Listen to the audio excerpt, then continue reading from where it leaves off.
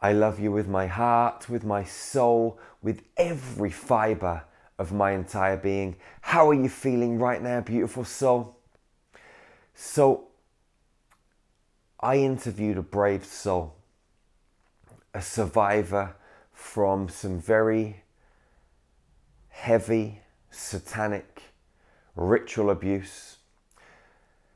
And it's really important before we go into this interview that I let you know that what you're about to hear, some of the information is very disturbing. If you're a child, if you're under the age of 18, I suggest you turn this video off right now. This isn't for children. A very brave lady came forward and shared her story with me. And we're going to go into some of that story today. We're only going to touch the tip of the iceberg, really. There is so much more to tell. Um, but what you are going to hear is going to be difficult for some people. Uh, the, the levels of abuse and torture were horrific. So please be aware of this before you continue this video. This channel, this Star Magic Healing channel, is really about meditation, healing, positivity, sharing tools that you can use to, to elevate your life. But at the same time, it's about the truth. And this beautiful soul has a voice her voice must be heard. To heal others that have also been through these traumatic experiences, to give them the courage to come forwards, to, to let them realize that they're not on their own, and at the same time to give this awesome being a chance to heal because by sharing and expressing, you do get to heal. You're going to hear stories about sexual abuse, you're going to hear ritual abuse involving the Queen of England and her husbands, blood drinking, spinal fluid removal, um, sexual abuse and traumatic abuse that is just, I didn't even know that some of these things were possible. I mean, it, it just blew my mind hearing this experience and to think that someone could do these things to a child is mind boggling. So please just be aware before you continue this video that some of the information may shock you. I love you, you're amazing, and thank you for being part of the Star Magic tribe. Thank you for watching this channel. Thank you for being who you are on this planet. Thank you for being courageous enough to come down onto this planet in the first place and to play this crazy game of life on this green and blue ball. I love you unconditionally. Beautiful souls. I'm here with Tracy and we're going to be discussing certain events and situations that have happened during Tracy's life. About a week or so ago, I put up a video regarding uh, children that were human trafficked, uh, kept in underground bunkers, being rescued, and it actually invoked a response from from several different people that have actually been through this experience themselves, and Tracy is one of them. And so Tracy and I are just going to have a discussion today and talk about these events and just see see what happens as we share. So, Tracy, first of all, I want to say thank you for being here. I respect you. I know this stuff's not easy, and I just respect you for being who you are, for being brave enough to, to come out and speak. So, thank you for being here. Thank you. How are you feeling? Um, a little nervous. I like I do not know um, with my uh, repressed memories what will come out. Okay. I mean, we may as well get straight into it. Uh, I, we spoke the other day uh, for a short short period of time on on the telephone after first connecting. You know, literally the day before, and um, we were t- you, you were you were telling me about a ritual that you were you have memories of where you saw another child being sacrificed. Could you elaborate a little bit on that? I I have memories of um, a ceremony. Um, in, in these memories, I'm a very small child. Um, I there are uh, there are lots of people there um, and other children as well. Um, it's a firstborn ceremony. Um, I'm a, the firstborn of my family. Um, the things that I remember is just everybody's kind of walking around in a, a weird kind of trance state. Uh, as as children, nobody's like being wiggly, you know, like regular kids, like they can't stand still in a in a church very long, you know, or any type of ceremony without being wiggly, but that's not happening. Uh, so we're kind of, yeah, just everybody's kind of just going through motions. Can you remember your age? Uh, definitely, I, I would I would guess that most of these memories that have been coming out is definitely like preschool um, type ages. And were um, you standing around in a circle in the ceremony? Everybody's standing. Everybody has black robes. Uh, there's a kind of a main priest guy. Um, and I'm kind of looking up at the stage or the area that he is, kind of through the people. And uh, he's holding a, a baby up like this and saying words. And I don't know that I'm really registering what the words really are. Um, Was the priest human? Yes. So the baby's held up and something said over it, and then they're they had a dagger and uh, they they killed it. And uh, there is an energy at the time that the knife strikes the baby's chest. There's an energy that went out and hit me in the chest, and um, it was very painful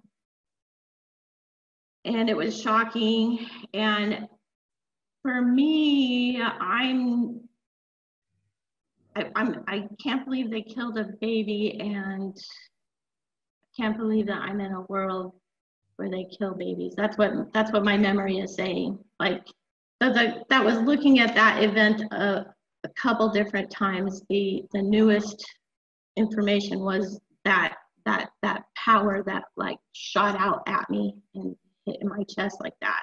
What did it feel like when the energy hit you? Uh, well, I actually still feel it right now. Uh, and I have kind of felt it uh, for years. It feels like uh, I. It feels like I have uh, a, um, a, not a sword, um, like a javelin, uh, the end of a tip in my chest, like what it feels like. So it feels like a very old wound for sure. It's something that has um, irritated me over the years a lot. I've tried to do a lot of energy work with it. And sometimes I can't tell if it's like, it's just like a memory or if I actually still have to heal it. Uh, I, I, I am unsure, but it's it's caused me issues or the memory has over time.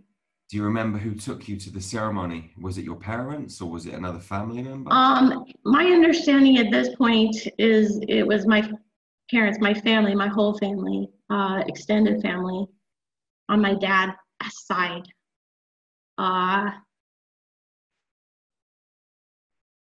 but I, I, you know, none of my family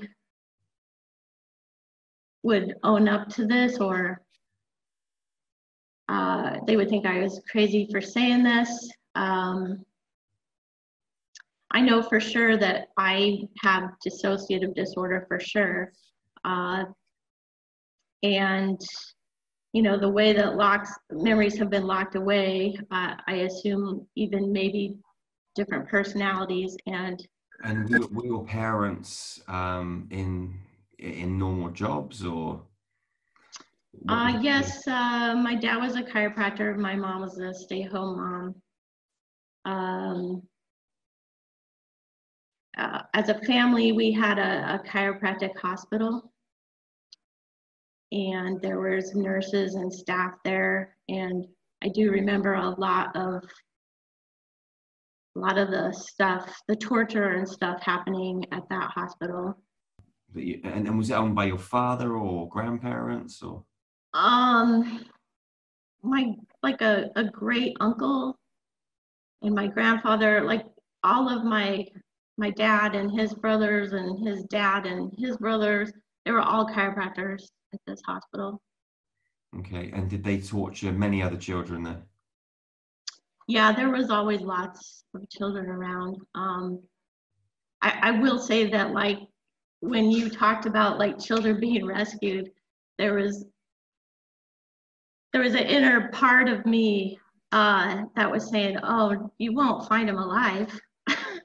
that's that's how I was feeling. I was like, oh, they're not gonna find him alive. There's no live children, you know, like that. That's what my inner self says. so I I I don't have any specific recall of seeing children killed, but uh, except that baby. But I feel like it is something that I am familiar with. Like Okay, and, and, with the torturing in the in the chiropractic hospital, what what kind of memories have you got of this? I do remember being, um, I was, I, I remember hanging from a meat hook. Um, and there were other children also hanging. Uh, from from the memory, it's just um, it, it was just um, is it just extremely painful and figuring out what to do with my breath because it was so hard to breathe. Whilst you were suspended, did anything else happen, or were you just suspended in the air? Just suspended in the air, and like I, I felt like maybe people came in to check on us, maybe, but we were kind of just all in there in the dark hanging. You know, I don't have any scars because the meat hooks were, they were going through my shoulders, you know, like, I don't have any scars. Then I started to remember like being on beds with the nurses and they would tend to us. And I remember this um, salve that they used, like a, it was like a brownish Vaseline type thing. And they would put that on our scars on our and that seemed to heal it, it seemed to seemed to be like really powerful stuff. I, I i think i have a memory of my dad putting it on himself because he was cut too in some ceremony or something. Um uh, but you know just being in beds uh, and while we're healing, just being hooked up and having like our blood drained and um, spinal fluid drained. They showed us images like movies, scary images. Uh, yeah, just being on beds and doing um, rehab, you know, like a just a in the healing process. And this chiropractic hospital, it was a normal practice by day, and and these these tortures happened in, in, in a different like underground or in a special room or.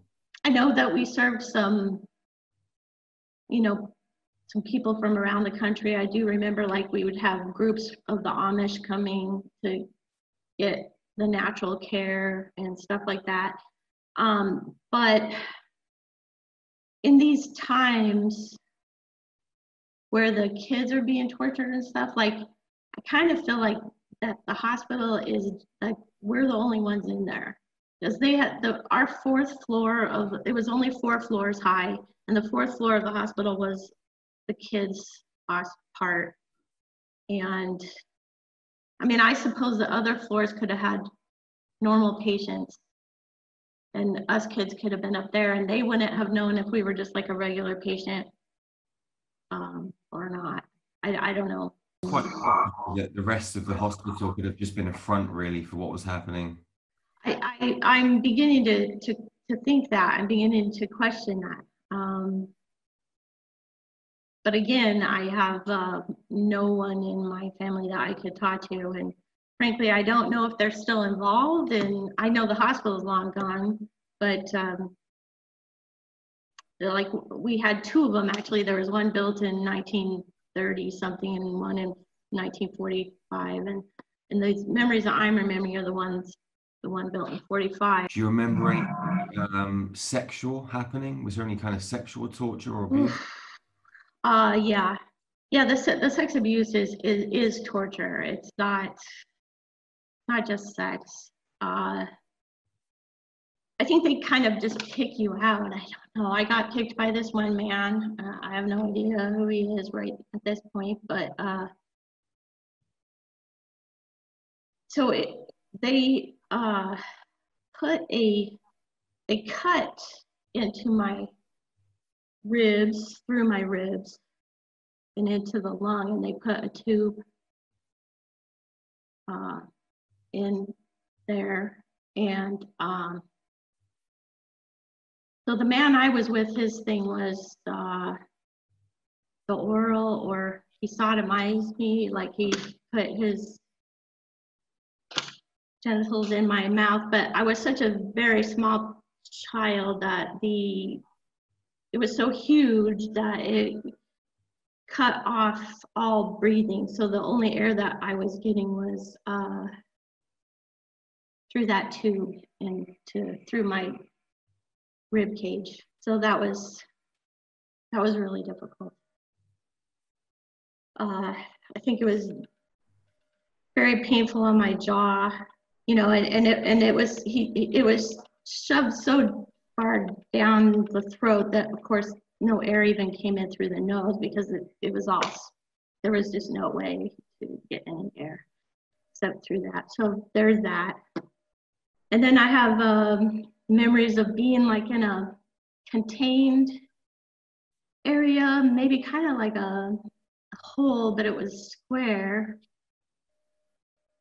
in the in the ground, and I was there with other kids, and they would stand around above us and uh, like jerk off, and then we had like just semen all over us, like just all over. Like it was so much. We were there for days, it seemed like, and it was all over us. We were just covered, just covered in it. Memories of ceremonies uh, where everybody was in, in black hoods and stuff, and um, like there were I was in black covering too, but laying down on and like with our legs open and like they would just kind of the men would just go down the line and one after the other um, stick their penises in us and it, that was a weird ceremony thing so i don't know just lots of stuff like that. Uh, Have you ever confronted your father and asked him about this? Uh, he's he's passed away, but uh, prior to that, I I did uh, you know confront him on just sex abuse, like in our home, uh, and that's really all I thought had happened. Uh, it I spent have spent most of my adult life, the last 30 years, you know, recovering memories of just the sex abuse of my father in my home. So your um, father actually sexually abused you at home? Yeah, I'll just tell you before before I started to look at this, I was feeling pretty solid. I was like, wow, I've done such a great job of myself. I have I've done the hard work. I am doing great. And then this started coming up and, and I'll tell you, I I feel like my mind is broken. Like, oh my gosh. Um I think I'm running into like the mind control stuff. Uh, you know, where where there's where it threatens you, you know, to don't look at this or you'll die or whatever. I don't know. but um, I mean, for, for people watching, um, I think it's important to note that when children are taken into these situations, it's kind of pre planned. And whilst the child is in the womb, then the torture kind of starts because what they do is they try and split the personality of the child um, by creating pain and suffering whilst the baby's in the womb. And as soon as the, the baby's delivered, um, they use sexual abuse, other forms of torture to fragment the baby and split the baby's personality at a young age, which makes it easier to control, which makes it easier to kind of slate, blank slate the memory of a child as they grow up. So it's very hard to recall these memories until you start getting, re- you know, rememberings or you start to dive into it through meditation or some kind of healing. Um, so what you're saying in terms of you know having these kind of spotty memories and all of this is is is, is, is quite normal. Yeah I, i've definitely dealt with the fragments. Like i said i thought i was just dealing with you know some severe child abuse of my father because um, i do remember like sex abuse you know when i was in diapers and stuff. And um, um,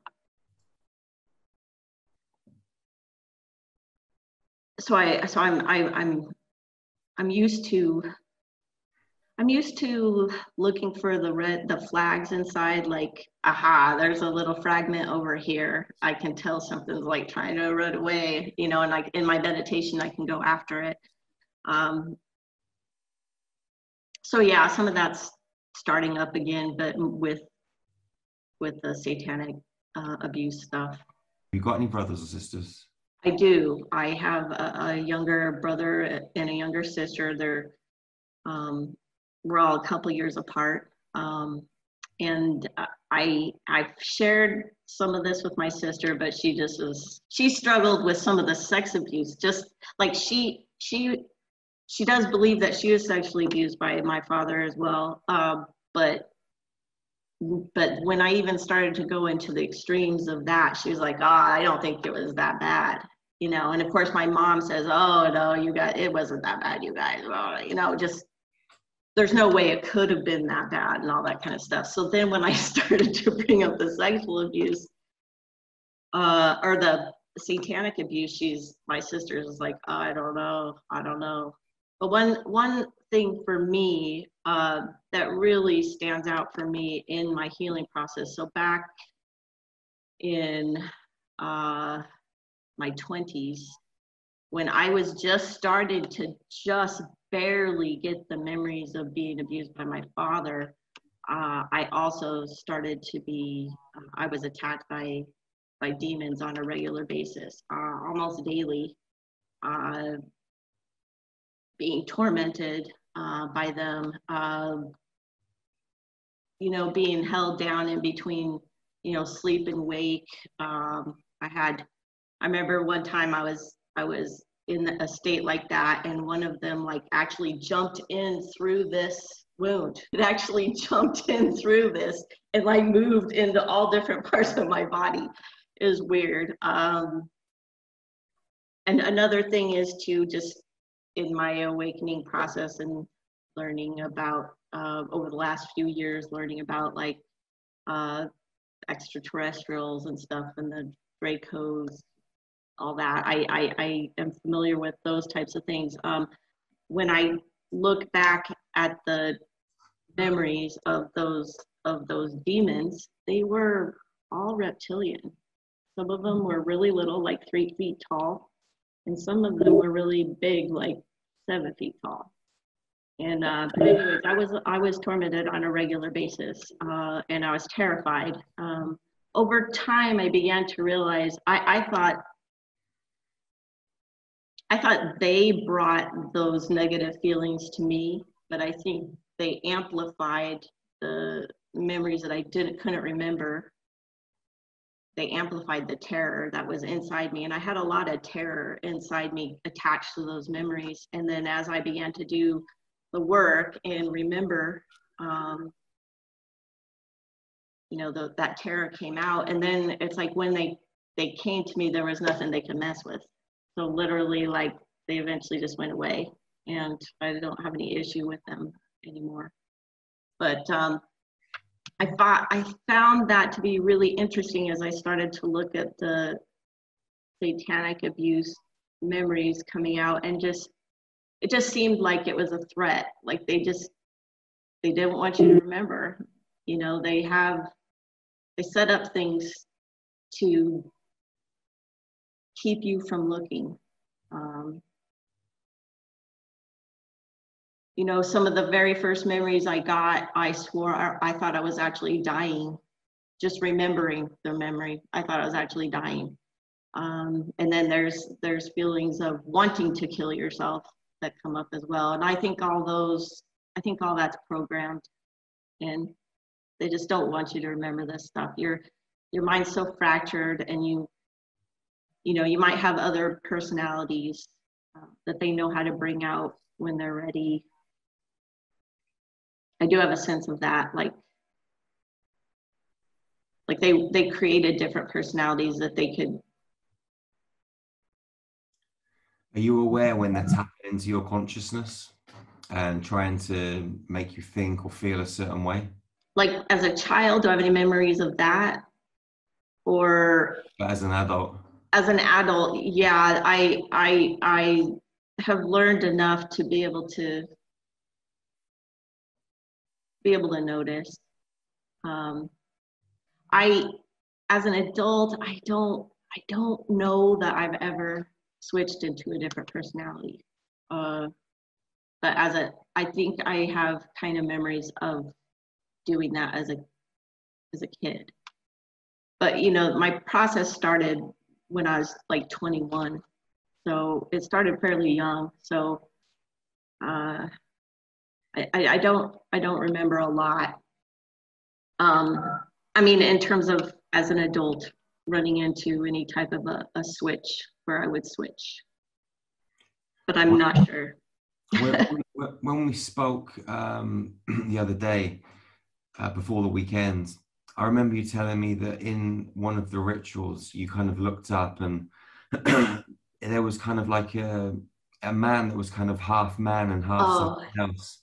Yeah. Like- I, I don't know my age, uh, but but the memory of that is um, is of that thing. Uh, uh, I'm on a table and it, it is raping me. Um, it was a man. Um, with it was probably I don't know it was very tall taller than a normal human. Uh, with a very uh, the chest was just very manly very muscular um, and the head was a, a bull. And um, its eyes like I said there he he he was just very intelligent. And so like looking at the head of the bull, um, it doesn't look like our bulls like we would see like a cow in the field uh, because of the level of intelligence. It just, I don't know, it just, it just looked very, uh, it looked, he didn't scare me. I mean, like, at least in my memory, I'm not afraid. I'm, I could be like like I said, any time of those rituals are going on, there's like everybody's like in a weird trance state. I, I think they use drugs. They put you on some sort of drugs, or you're in just a weird state. Um, so I'm I'm not fighting this rape. I'm just laying there. and it's doing its thing.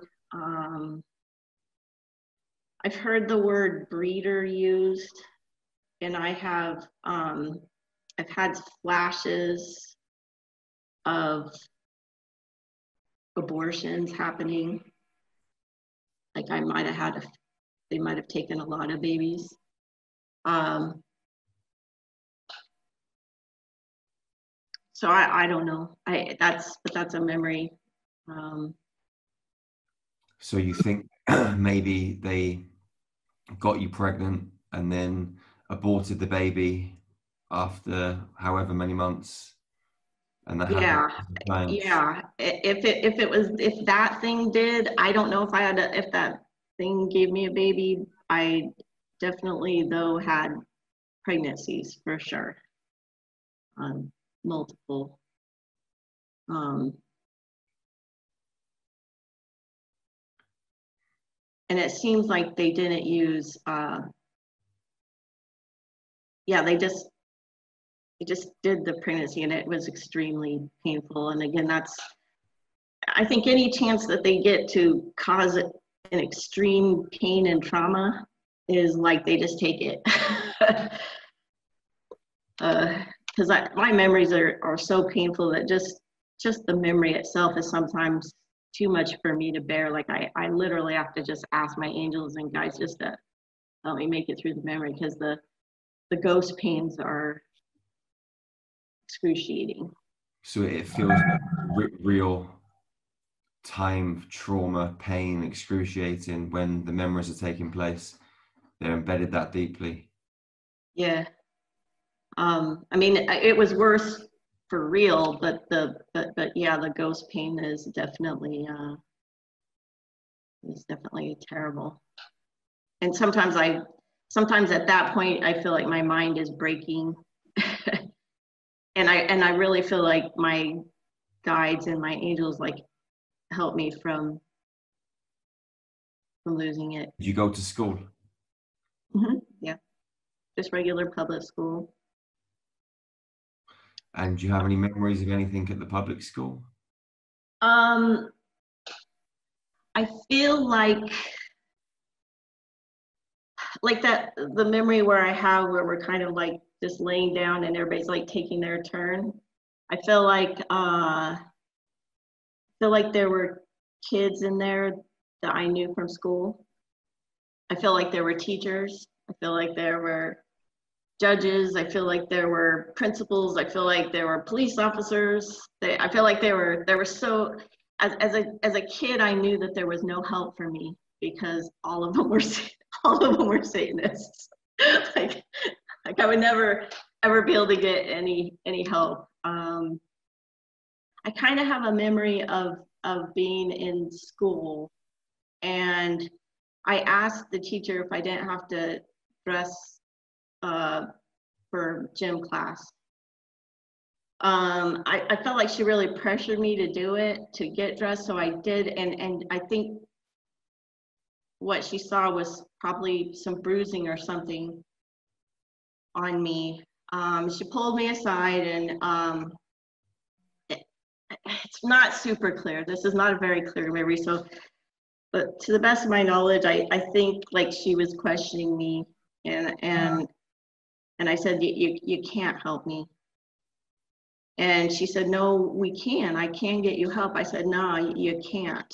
And I said, one of two things are going to happen. If you really uh, are going to do this, you'll probably lose your job.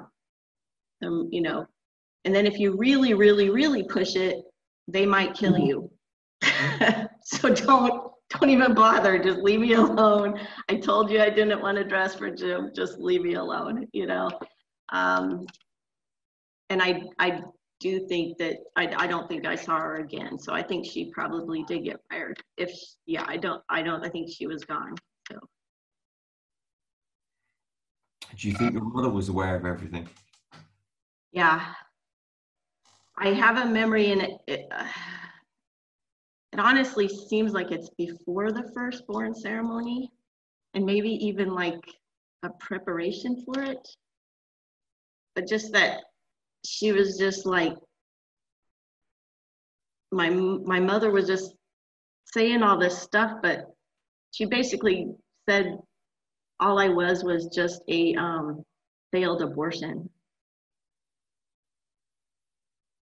I, I that seemed to be a term that she used with me quite a lot.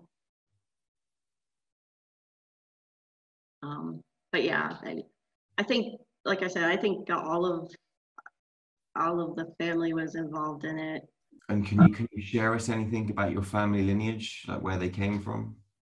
I, I don't know. I don't know it, but I feel like it's in here somewhere. I know that that after I had my first son, I've had two kids. Um, I became really afraid, and everybody thought I was going crazy. Uh, that's when I started to have some memories of like the cloaks, the black cloaks, and all that kind of stuff. And I remember being terrified that my mom was going to try and put blood in my son's milk and that they were after him because he's firstborn. Um, everybody thought I was super crazy and um, everybody turned on me. Um, I wanted to divorce my husband because he was beating me. And um, anyways, family, friends, everybody like turned on me. And um, I got my, they took my kids from me in the divorce. Or my husband got my kids in the divorce. So it was just really, really difficult time, but I had no idea what was going on. And I would have never considered something like this as possible. So at the time, they just thought I was losing my mind. I think my dad even suggested that it sounded like I had a, a brain tumor or something. so I was having all sorts of visions too. I was having visions. I was and I was being visited by angels. Um, yeah. Are you in contact with your sons now? Yes, yes. I and I remained. I I was. I did see them regularly, so they weren't completely taken away. And um, in, in the period of time where I was trying to deal with the the demonic torture that I was going through, I I went into the Christian church, and um, and that's really all I knew to to do. Um, and I, I learned a lot of uh, spiritual warfare. I prayed a lot of really really, really, really strong prayers over my sons. And um, I really feel like that was um, it was powerful enough that that I covered them. I, I feel pretty strongly that I did. You think your father and your husband tried to do anything with your sons? Uh, I think everybody wanted to, but like I said, I, I don't think they were able. I don't think they were able to. Okay. I could be I could be wrong. Uh, I have I have like talked to my sons about some of this stuff coming out, and uh, yeah, that, I I don't think my sons struggle in in believing me. I think they believe me. How old are they? Um, 24 and 21. Okay. Is your mother still here? She is. Have you ever confronted her? No, I and I won't. She's um, she's like addicted to pain drugs, and she's just gone. She's gone. It's not really. You can't hardly have a conversation with her. Okay. Do you think maybe because of all the things that she's done and taken part in, she's just trying to numb the pain of it all? Um, likely. Uh, she also has a, a spinal injury, and uh, it just kind of makes me wonder because it's kind of in the same area of my spine, like where they were draining spinal fluid. Just kind of makes me wonder if something happened to her. Maybe she was a victim of the abuse and carried it on with you. I, I think the thing is with with those Satanists, or it seemed like they do it to their own kids. They they've all been through it. Like it seems like it's a thing. I you know I don't think anybody's not getting abused, even the ones that are perpetrating it on you. Like, but she seems like to me, she seems like she's um, her mind is fractured. Seems to me. I don't know. I, so it, it so it, I and I used to think that about my dad too. Like he would switch. He would be in one moment he would be this great dad, and the next moment he would be the most evil thing you and cold human being on the planet. Like and at times like when he was being the nice one like he didn't seem to have any memory of i don't know. It, it just makes me wonder I, I don't know. Maybe the same thing happened to both your parents and it just went down through the line. Yeah i, I think that they I think they do it on purpose i don't know. I, I almost have like an inkling inside that says like oh you you should be privileged that you're suffering this way. It's so good that you're suffering this way. Like this is so awesome that you're such a you're better than everybody around you. You know like i kind of that that feeling inside like because like i said they're so proud of what they believe in. I mean it's just a religion right? Like they're completely in it I mean, did they openly discuss Satan, or did they openly discuss Satan? Uh, I I've never never like if you would have asked me before any I started remembering this, I would have told you, yeah, we didn't really believe in anything growing up um, at all. So uh, we we I think like uh, we went to church on Easter a couple times, but we weren't really, yeah, we, we there wasn't really any religion um, seems to just be void of religion. So yeah, nothing was openly discussed. I just know that my mom was just she hated Christians like really bad. And when I became a Christian, she she was she was pissed. she hated Christians. So but her her story was that her dad was a Christian growing up and her dad beat her or whatever. Did you ever get like transported anywhere else to be involved in any rituals or, or happened kind of like close to home? um, well, yeah, it seemed like we went to some national thing. Um, as a child, we did we did go to Walt Disney World two times. Um, I, I think that there were famous people there in these national things. Um, and where were they these national events? I honestly, I don't know. I just, I'm a child. There's large crowds. Um, like like hundreds of people or thousands or I've never been around big crowds, so it's hard for me to determine whether it was like thousands, but it's rather it's really big. And and it was in a building. The, it was. It seemed like it was kind of outside, but there was a stage. We saw the Queen. and the anticipation of her showing up I know that she traveled to the United States in 1976. I would have been seven years old. And that's really close to one of the times that we went to Disney World.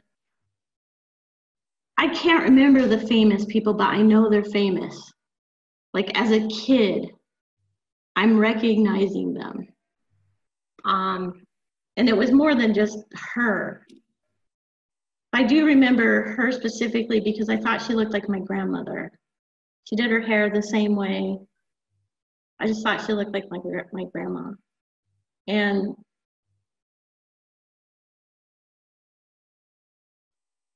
just just the anticipation, like the whole crowd there, everybody again is still in that weird trance state and it's still in that weird, there's all this weird mumbling and the things that they say, I just don't remember all the things that they say, but it's just but the anticipation of all of these famous people on the stage and and going through the leading the ceremony and stuff and was the queen involved in the ceremony then absolutely yeah for sure absolutely. Yeah. And was she uh, raping or abusing children? What was she doing? Ceremony. It's all um, at, at this point when she's on the stage. It's it's all ceremony. It's all words and ceremony and worship of the whatever it is. The demon. I don't remember if we saw it or not. I, you know, it's more like statues and the robes and was everyone dressed the same in like robes or? Yeah yeah and and the queen was as well. Maybe with more headgear like a what was like horns or? Mm-hmm. i saw her up close. But that stuff is just uh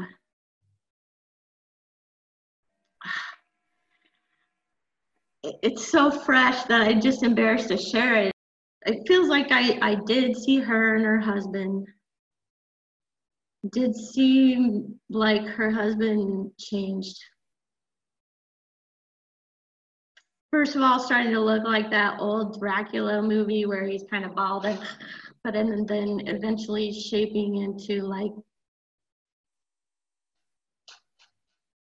a reptilian. Uh, and like scratching the kids and and sucking blood and yeah it doesn't really feel they just seem more like they were into blood more than than they were um, sexual stuff. And were they put, putting the children through pain before they extracted the blood or was the blood already in? Well yeah just because well we were terrified of the monster. They're turned into monsters. You know you're terrified of that. And they're making these hissing noises right? And the teeth and the nails and they're scratching and sucking and yeah you're terrified And did, did the queen turn into another being? Did, or was she just herself? Or did all of them change into reptilians? just seemed like it was her and him. I remember him mostly. It seems like I'm sitting on her lap looking down at him, attacking other kids. I know that before they shifted, before they changed shape, like she just spoke so softly. And like I said, I thought she was like my grandma, and it was so nice. I liked her. And then it changed, and then it just turned into a nightmare, and it, just a nightmare.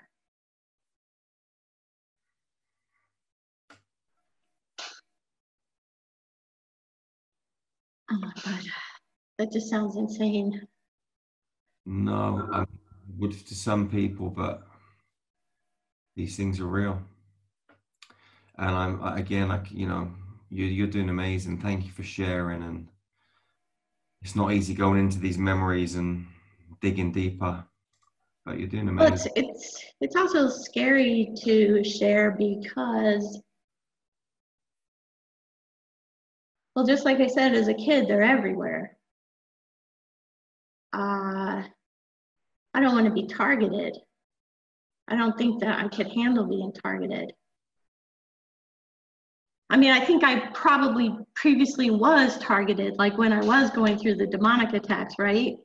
And I just barely survived that period, especially when they took my babies from me. It's like I just, uh, and and now my babies. I moved to Florida. I'm actually in Florida. My babies are in Denver.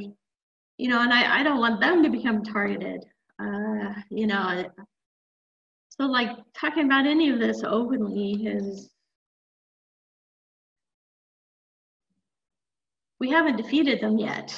That's or maybe we haven't we haven't we haven't seen it yet, but I I'm waiting. I, I do remember this is funny. I remember being on the edge of my seat, uh, watching this um, investigative reporting being done by uh, Geraldo Rivera when I was little, and he was trying to uncover satanic worship happening in California um,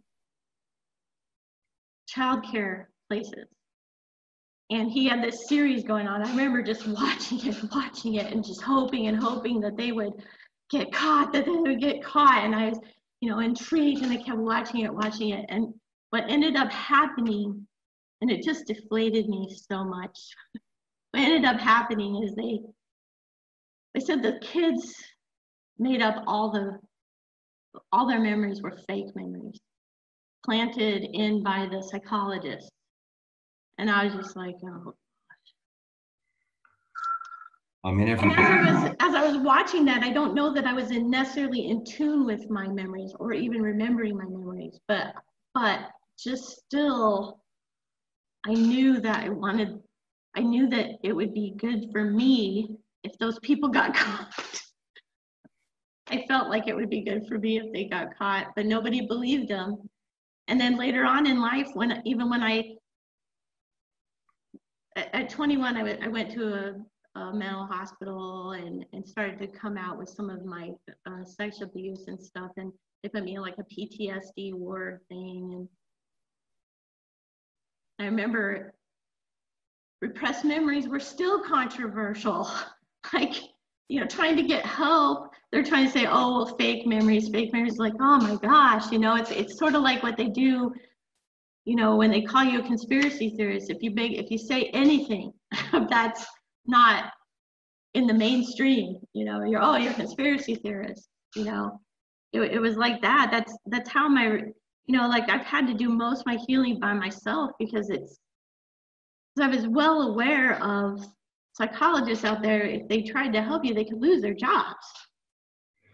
It's just something that everybody conditioned into and you know from the police to the psychologists to the teachers to the social workers everybody's involved yeah from from top to bottom yeah so it is tough to come out and, and talk about this stuff because there are so many people that are going to say you're crazy you're a conspiracy theorist this and that and try and make you look insane crazy should be locked up put in a straitjacket this woman's mental, you know, but you're brave, you're doing you're doing the right thing. And you're healing yourself and you're doing an amazing job. Yeah, I mean I I'll tell you my favorite phrase in the whole world is that the truth set you free because I'm such I'm madly in love with the truth. I mean, it's the illusion that keeps people dumb, isn't it? Buying into the illusion and the falseness and the fakeness that keeps them subdued.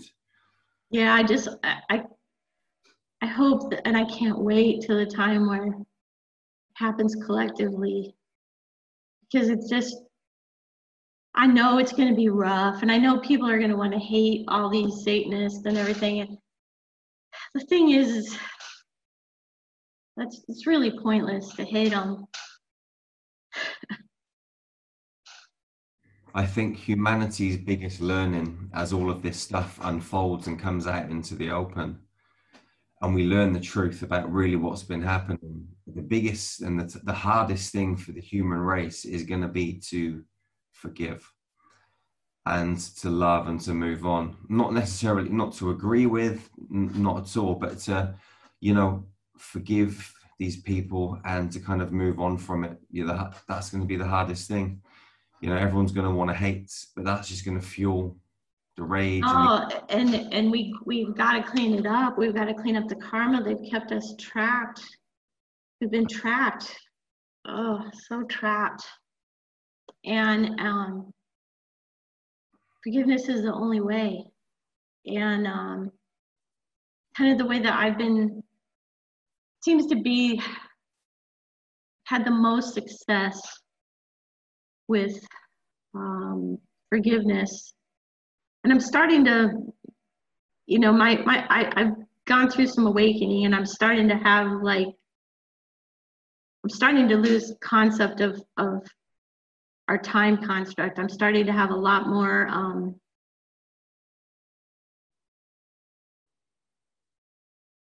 a lot more realization of everything happening like right now, that there is there is no time, and that all of the timelines and past lives are all just right here. Like I, I have, I'm getting beginning to have that concept, and um, so when I look at forgiveness, I'm saying, you know, let's just leave that event right there. We're not going to carry it around with us anywhere. We're not going to take it along with us. I'm just going to forgive those Satanists that did those things to me, and I'm just going to just leave it right there where it happened. I'm just going to leave it there. If I don't forgive, I'm going to drag it all around. And I, I that's kind of what it maybe what I feel like maybe what karma is like. I'm just gonna I'm gonna feel like I'm owed something. I'm gonna drag it around with me. Um, and that's why we're here at the moment to, you know, as a human species, people that have been through this kind of trauma and people that haven't, in this reality and others, is to deal with all of the the, the, the, karmic trauma, whatever you want to call it, you know, leave it behind, leave it here from this reality, from other multiple quantum spaces, you know, past lives, parallel realities. Let's just leave it where it is instead of you know having this pain within the soul within our energy field that we're taking from one life to another leave it heal right. it and let's just move on and and ascend and, and and move into a higher vibrational state where all we can do is is is, is love unconditionally and right. see a learning experience or a remembering experience and, a, and an opportunity to grow and, and to heal instead of blaming and judging and hating and, and all of this stuff Right. So I, I, I, that's what forgiveness has been looking like for me is just, I'm just going to leave it right there. Um, I know that I have to look at it to heal it, you know, because that, again, the truth sets me free. So I look at the truth, I heal it, I leave it right there and I forgive it. I, and I forgive it completely. And, and then I could tell you very honestly that, um, it does create a space for love to come in. Um, I just have a very we're we're all one. So like it or not, I'm one with that, with those people, because we're all one. and um, so that's at the collective level, you know. So I, I look at it as if I was looking at it as me as an individual, and this is this is where I really know that I'm one. It's just me you know, I, I can say, well, I have dark aspects of me. you know, just listen to me going through traffic. I'm going to be saying some nasty stuff when I get frustrated with slow people, right? I have a potty mouth. Um, so, but I can like still love me as a whole, even if I have a dark side. So I think like, you know, that's how we have to look at it when we forgive these atrocities um, we're all one. We just have some of us in the shadows. and but we're all one. So we just we need to accept that. We need to accept that and and and love needs to go out unconditionally everywhere. And, and it's you, better for everybody. Would you say that's your number one advice for anyone that's kind of having these rememberings, these traumas, these flashbacks? Yeah. Going in love yeah and and and when i'm in the that pain i actually have to i have to tell myself that's not who i am. That is the the story okay that i experienced in this incarnation but it's not who i am. And i am the observer of the story and i can learn and gain wisdom and forgive. Um, that's sometimes how I bring myself out of, like I said, those ghost pains are sometimes so extreme that I could get lost in that pain at times. And um, and I know that I know that the healing process is not supposed to be re-traumatizing myself, you know. so it's it's it's like okay, all right, you know, you're there you hey you know what happened. Like bring yourself out of it. That's my story. Not who i am. Anything else flying around in your consciousness that you want to get out now and get off your chest? Um, crazy as an insane as an and as insane as it may sound? I I just I I just have a it, it's embarrassing for me, but it's something I've shared rather openly with people that know me. Is that is that I have I did uh, I have died. Um,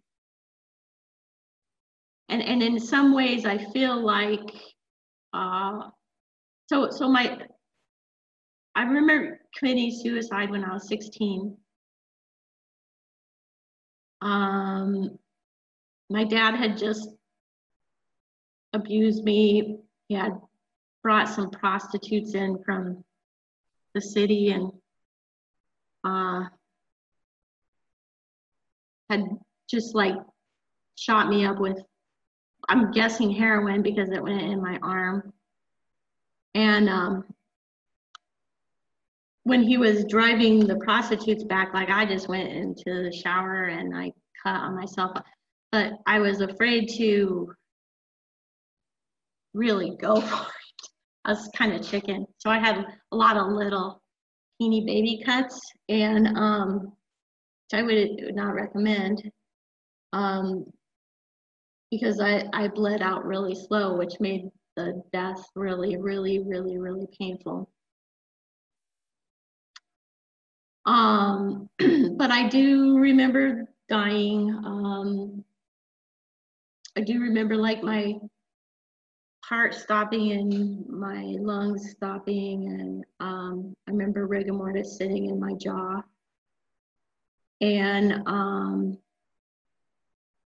I had cried out in my pain. I had cried out to to God, and um, and then I changed it and I had cried out to to Jesus. And um, so when everything, when all the pain stopped, and I realized I was still me and there was light around me, I looked over and I did see Jesus sitting there next to me. And um, so I had I had died. And um,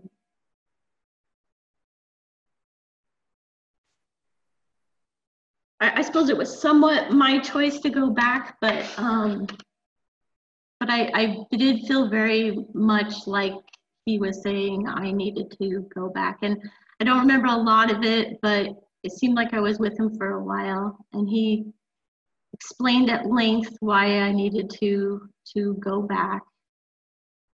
Um, giving me things like, um, you know, if you put a pebble in a pond, you know that one person makes a difference, and that the the stuff goes out. Like, I think I think he kind of like kind of showed me what it would be like if I didn't return. You know, what would happen to the people that I knew, and and then kind of how that would not happen if I returned. Um, he also said that when I did return, a lot of there was still going to be a lot of bad things happen to me, which made me go, I don't want to go back. I don't want to go back. I don't want to go back. Please don't send me back. Um, but somehow I feel like, see, so I've been working with Jesus pretty much on my healing through the whole thing. And and I did I did go back. So by the time my dad came back, um, it was really weird. He he I was I stepped back into my body, um, and it, and rigor mortis had taken over the whole body at that point, so I couldn't move. I, I I stepped into my body somehow, and then it fell to the ground, and I I was completely paralyzed. I couldn't move anything. My dad got home and he picked me up and put me in the bed he didn't really care. He was more concerned about cleaning up the blood in the shower. So he spent the next two hours trying to clean up the blood in the shower. And then eventually came back to me and I don't know, just being a chiropractor, I suppose he just knew to kind of massage my body. He'd done some testing on me and, and I was not responding. My body wasn't responding. He massaged me and eventually I was able to move again.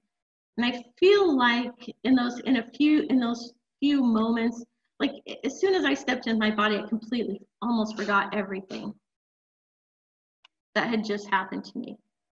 And but I feel like I was kind of like talking to my dad about Jesus. I just saw Jesus and he said you you should do you shouldn't I don't know. I, I honestly don't know, but it seemed like I was speaking things to him. What, what when did you kind of rise up out of your body and communicate with Jesus outside of your body? Um so it seemed like he was see i was i was uh, on the shower of the floor or, or the floor of the shower when he was just sitting there next to me. But then i realized i was not in the shower anymore.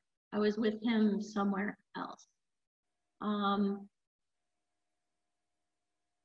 it seemed like i was in um seemed like i saw lots of things like i was in paradise um which is why I definitely did not want to come back. uh, it just seemed like I did like walk through gorgeous scenery with him and we talked a lot about why I needed to go back. Um,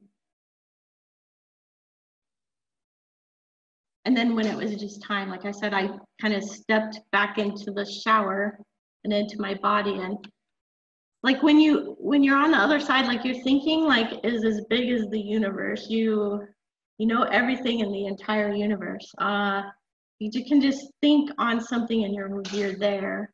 Like uh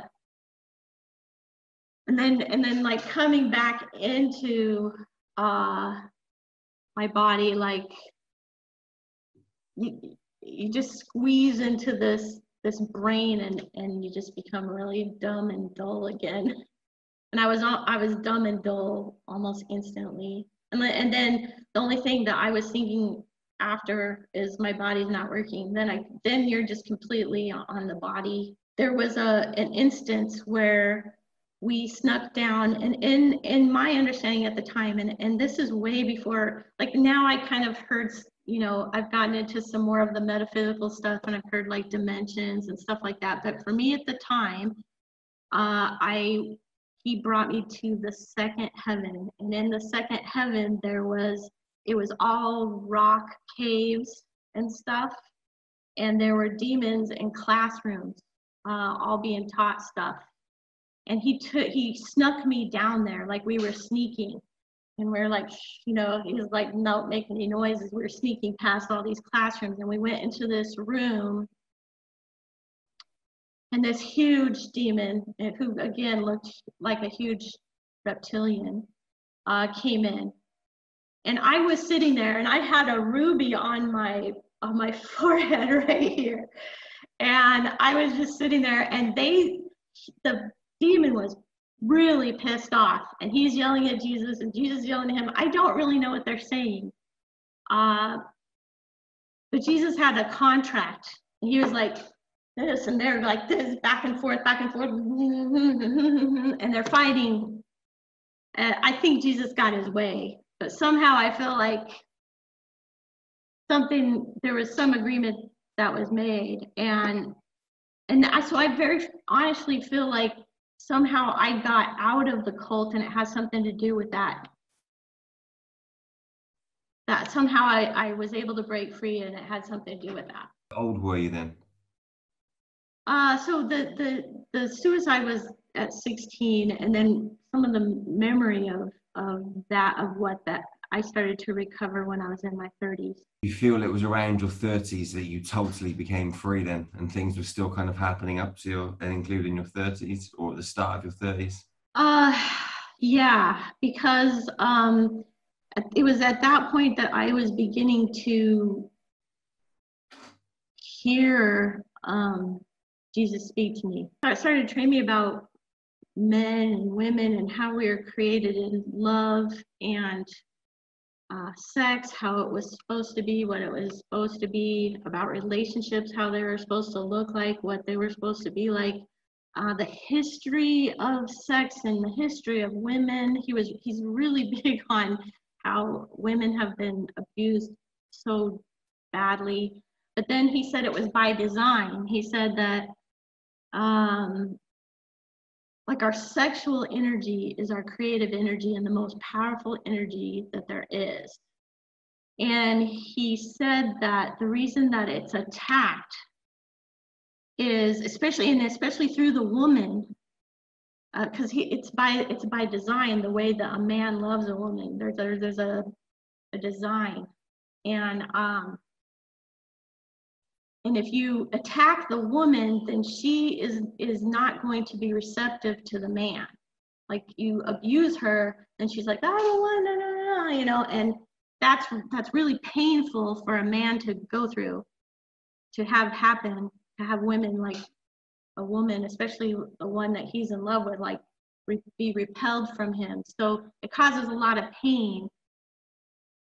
Anyways so basically the the design of these attacks uh, and at the time i thought he was just talking to me about the church um, but now you know you look at you look at at, at Rome, and you know the the powers that that killed him are very similar to the powers that what we're dealing with. And so he's he's still a revolutionary. He's still very against the powers of the planet. Uh, he was very in tune with it when he was here, and he he started to teach me about it. But it's by design that they attack us sexually. It's it's, it's it's it's the worst thing that they can do to us as humans. And did he talk about feeding, feeding and harvesting sexual energy? Um,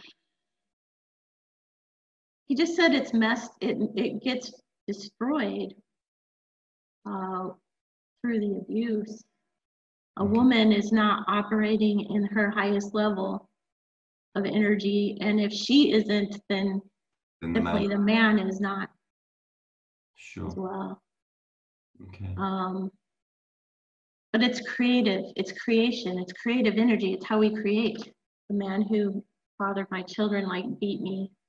And um, there was a couple times where he did beat me to death too, but Jesus was right there with me. Like he just like got me out of my body, held me, you know, then I just went right back in.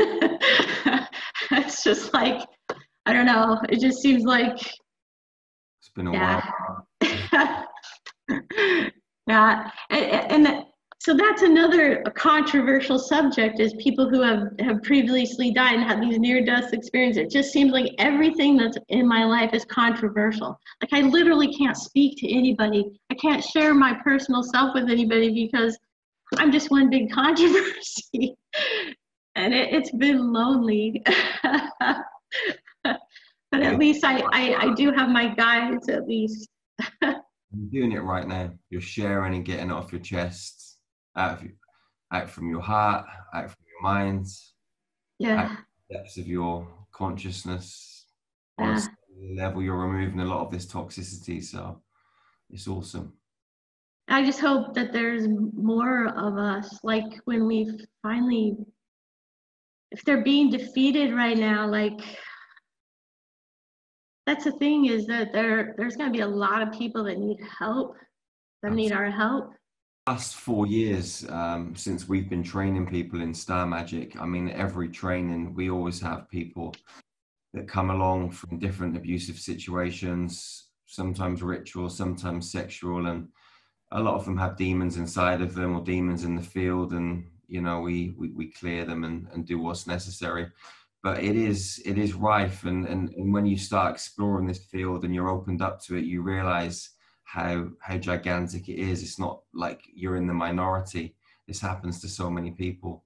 Um, and I think having a brave, beautiful soul like yourself stepping forwards and expressing themselves, it does give other people the courage to to come out of their shell and to share it and to to either seek help or do their own healing or do whatever's necessary to, to kind of you know shed this stuff and leave it behind and it's not an easy journey to go on but you're living proof that if you're if you're prepared to kind of face this stuff you can get through it and and, and you can rebuild your life and you can rebuild rebuild your consciousness you know and take great power from it too. You can empower yourself by going through this stuff, um, even though it's hard.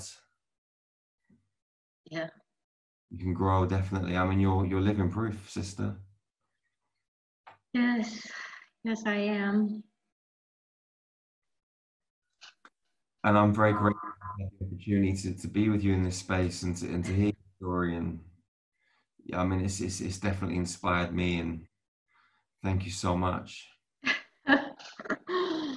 Mm.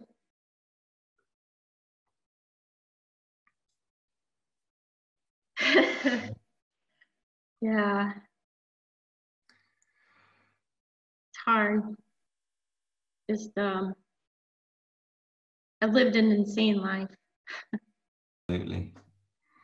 It's it's been amazing talking to you today, Tracy. And thank you Thank for you. being.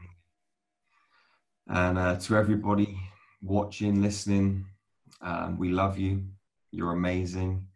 You know we are a global family, and it's important that we support each other through this awakening, through this ascension, through this process. And it's important that we we love ourselves first and foremost. And like Tracy said, forgive forgive, forgive, forgive.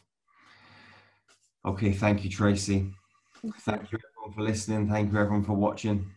Peace out. Thank you for watching this video. I respect Tracy so much for coming forwards and sharing her story. I know that it's going to give others courage. I know that it will give others hope and trust. And it will allow others to realize that they're not alone, that there are other people in this. And there are thousands, thousands upon thousands of children that are suffering right now or have suffered for many, many, many years. And it's despicable.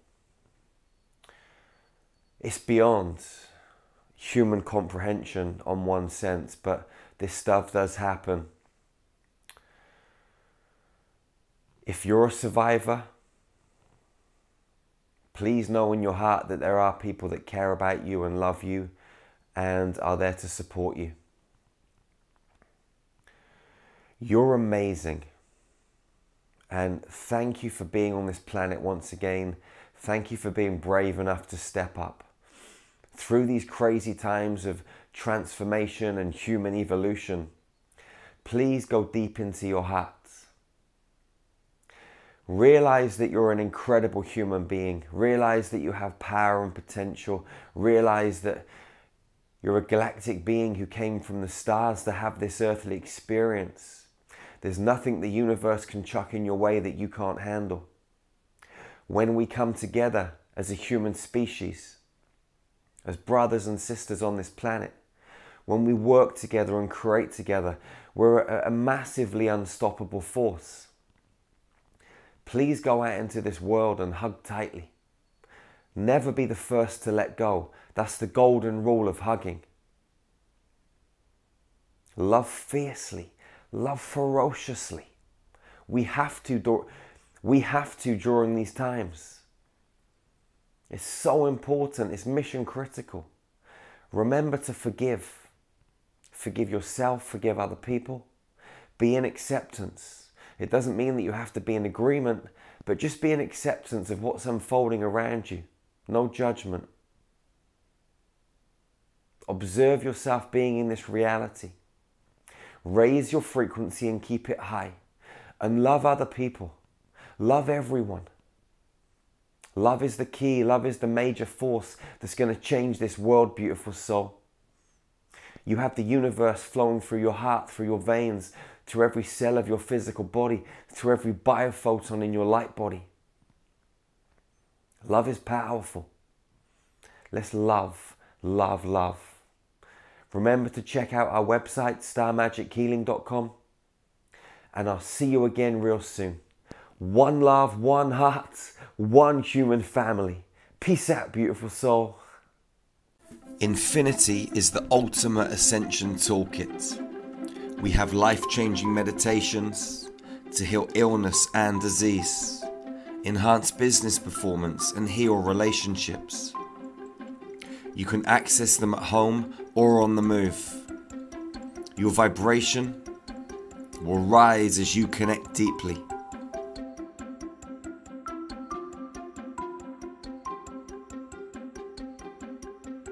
You have access to short yoga routines to activate you in different ways. Cosmic yoga to activate your third eye, open your heart and your crown chakra, help you sleep better, and much more. The instruction is easy to follow and carefully explains.